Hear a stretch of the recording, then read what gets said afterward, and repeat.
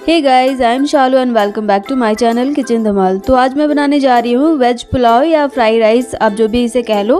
क्योंकि आजकल आपको भी पता है कि गर्मी बहुत ज़्यादा हो रही है तो हम कभी कभी सोचते हैं कि हम ऐसा क्या बनाएँ जो हमें किचन से जल्दी छुट्टी भी मिल जाए और जल्दी बन भी जाए और वो सबको पसंद भी आए। तो इसलिए मैंने ये रेसिपी बनाई है।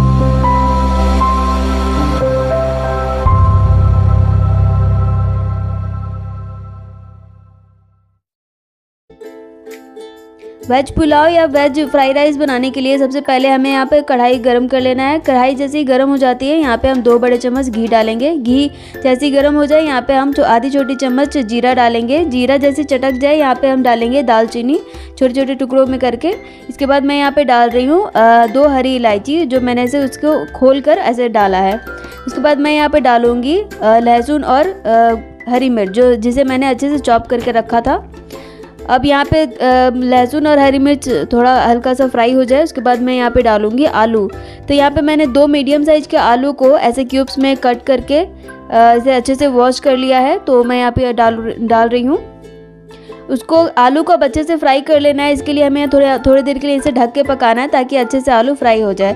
तो आप देख सकते हैं फ्रेंड्स, आलू अच्छे से गोल्डन ब्राउन हो चुकी है तो उसके बाद हम यहाँ पे अब डालेंगे प्याज और कैप्सिकम यहाँ पे मैंने दो मीडियम साइज़ के प्याज को कट करके रखा था और एक मीड, एक मीडियम साइज़ के कैप्सिकम को मैंने यहाँ पे कट करके रखा है तो यहाँ पे हम इसे आलू के साथ ही फ्राई कर लेंगे।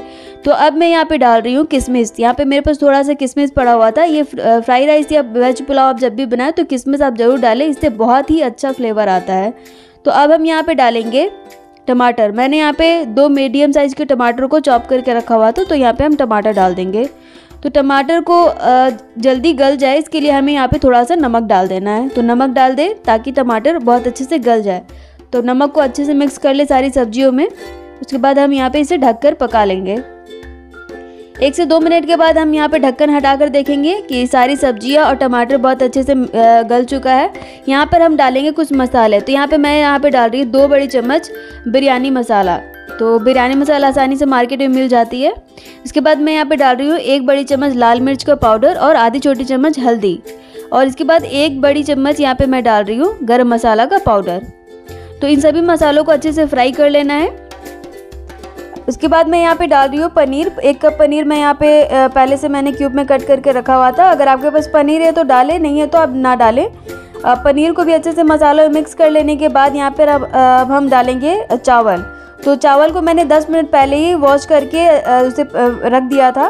तो यहाँ पे चावल को अब अच्छे से सब्जियों में मिक्स कर लेना है। उसके बाद मैं यहाँ पे डाल रही हूँ आधी छोटी चम्मच चीनी। उसके बाद मैं यहाँ पे डालूँगी आधी छोटी चम्मच नमक।